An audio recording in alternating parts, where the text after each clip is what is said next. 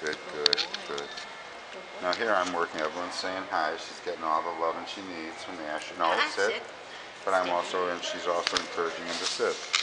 She could tell him to sit, but the words of sit and the control really should come from the person with the leash. Sorry. Good. Good, good. And if they don't come from the person on the leash, it could certainly come from the person greeting. Good. Good sit, Ascher. Good. Good. Good sit. That's it.